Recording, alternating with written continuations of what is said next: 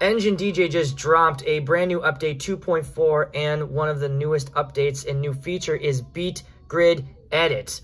And we're going to walk you through and show you how to do some of that today. So here it is. This is what it looks like once you do the update. I'll show you how you get to it. All you got to do is um, swipe down and then it's now in our control center and just hit Beat Grid Edit and we're here. So lots of new things at the bottom there. I'm just going to show you a real quick edit of what I would do. I'm not fully, I don't fully know all these features yet, but I can show you what I do know.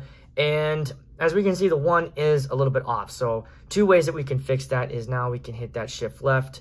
And as you can see, it's moving around with that shift right, moves it back. The other thing you can do is you can nudge your jog wheel. So if I nudge the jog wheel, I can see the one moving around to where I want it, get that set, hit play. And I can see two is a little bit off. So instead of nudging, I don't want to nudge, or move it because it's going to goof up what I just did with one. So I'm just going to touch the top of my planner and move my jog wheel where I want two to be. And then now I'm going to insert anchor, hit that. So now that's all set. So let's go back to one. Two's looking good.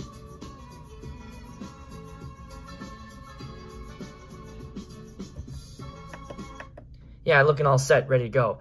Um, so that's just really quickly what you can do. If you, along the process you screw up, you do something and like, oh no, what do I do? It's all right. Just hit that reset button right there.